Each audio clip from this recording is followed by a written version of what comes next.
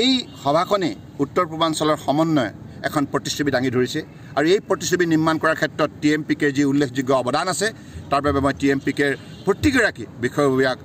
সদস্য সদস্যাক আন্তৰিক কৃতজ্ঞতা জ্ঞাপন কৰিছোঁ আৰু আমাৰ স্থানীয় যি জনপ্ৰিয় বিধায়ক আমাৰ ডক্টৰ অনুজ পেগু ইয়াৰ ভুৱন পেগু ডাঙৰীয়াই এই ক্ষেত্ৰত যিখিনি উদ্যোগ লৈছে মই তেখেতকো ধন্যবাদ জনাইছোঁ ডক্টৰ অনুজ পেগুকো ধন্যবাদ জনাইছোঁ। কাৰণ তেখেতসকলে আজি এই অঞ্চলৰ সকলো শ্ৰেণীৰ ৰাইজৰ আস্থা আৰু বিশ্বাসক লগত লৈ আজি এনেধৰণে সুন্দৰ তেখেতক গল্ডেন জুবলি আজি চেলিব্ৰেশ্যন কৰিছে। গতিকে মই আশা ৰাখিছোঁ আগন্তুক দিনত শিক্ষা সংস্কৃতি ক্ৰীড়াৰ যোগেদি এই জনগোষ্ঠীটোৱে বৃহত্তৰ অসমীয়া সমাজখনক একবিংশ শতিকাত শক্তিশালী সমাজ হিচাপে প্ৰতিষ্ঠা কৰাৰ ক্ষেত্ৰত উল্লেখযোগ্য বৰঙণি আগবঢ়াই যাওক